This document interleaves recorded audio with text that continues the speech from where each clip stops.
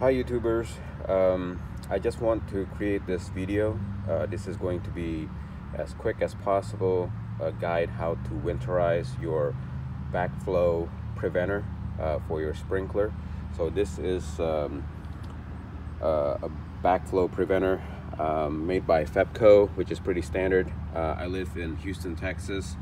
Um, this is a device that prevents the sprinkler system to to avoid it to uh, to um, to prevent water going this way into the supply of the city and um, polluting it from whatever maybe ground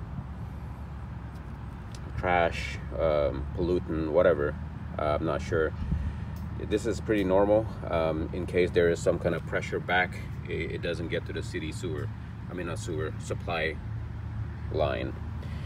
Anyway so let me explain a little bit quickly. Um, the supply of the water comes in from here and it goes towards here towards the uh, sprinkler system.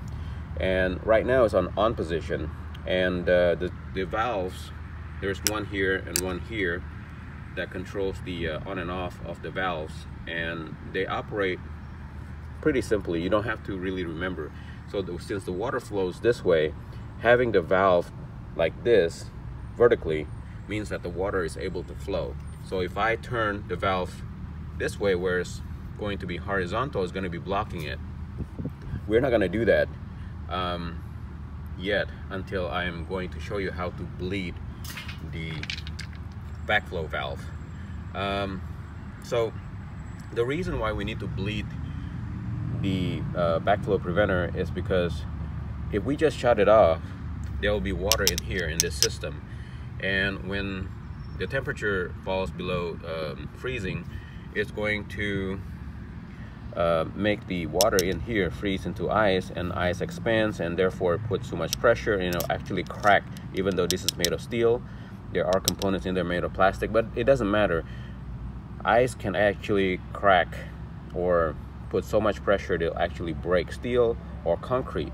So what we're trying to do is bleed it so that we get the water out of it and leave it in an open position. Uh, well actually probably better to leave it in a closed position after you bleed it.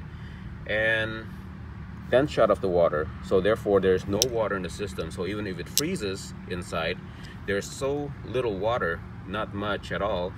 Even if they freeze it doesn't put any pressure. It will never be able to crack the backflow system.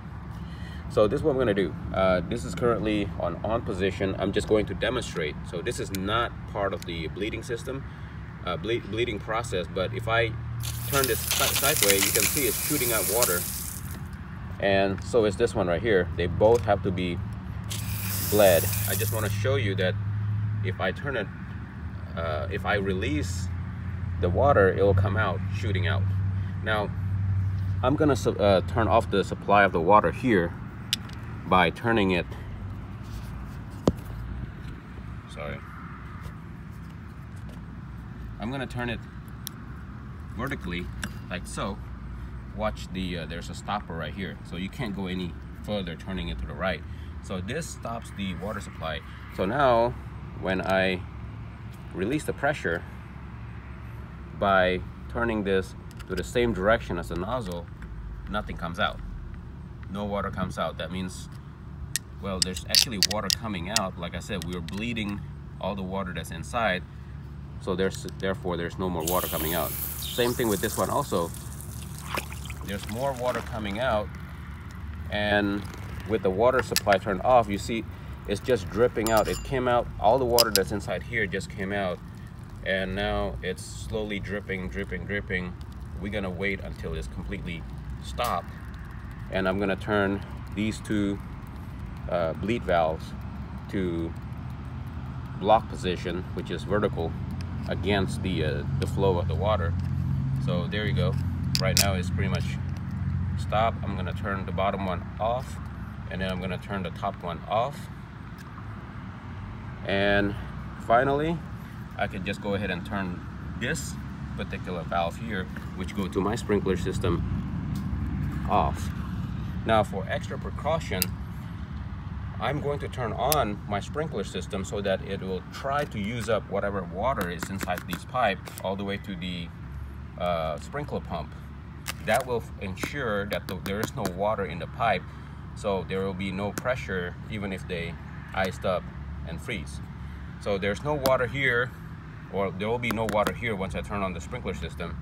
There, there is no water here because we just bled it and the water supply has been cut off this is pretty much foolproof even if I don't I have a bunch of blanket and tarp here that I'm ready to cover this with but even if I don't do it I don't cover it it will probably be okay throughout the winter.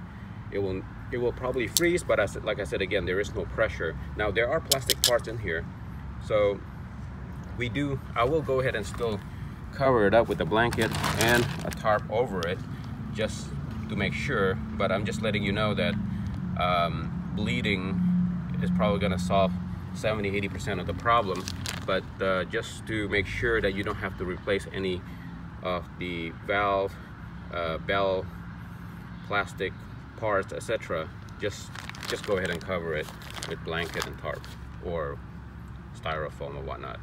Okay just want to let you guys uh, know how to properly bleed and winterize the backflow uh, preventer. Thank you